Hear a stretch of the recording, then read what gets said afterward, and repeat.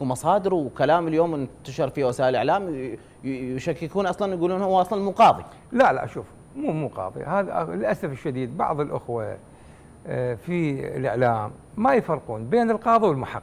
وأسف أنا اليوم حديث أستاذ بالجامعة يقول هو مو قاضي. قلت له ابويا رئيس استئناف العماره شنو مو قاضي؟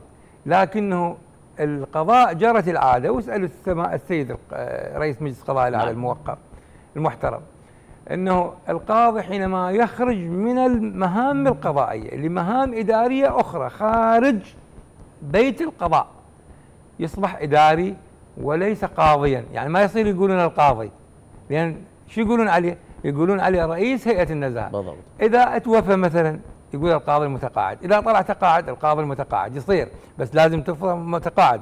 وصارت دعوة مثل هاي. السيد رحيم العقيلي كان يكتب القاضي. نعم. هو طالع خارج. قال له لا اكتب غير قام يكتب القاضي المتقاعد.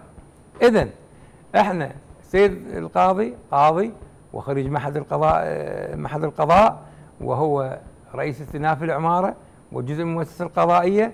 ولكن الخلاف اللي صار يعني حدث ما كنت اتمناه حقيقة. وتعرف أنت هيئة النزاهة أكو معلومة لازم واحد الكل يعرفها.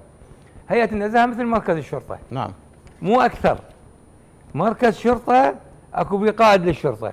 قاضي رئيس هيئة النزاهه عنده محققين المحققين يكملون يودوها للقضاء. بعد ما من حقه فقط يتابع المعاملة يست... يسوي تمييز تدخل تمييزي تصحيح قرار هذا شغلهم.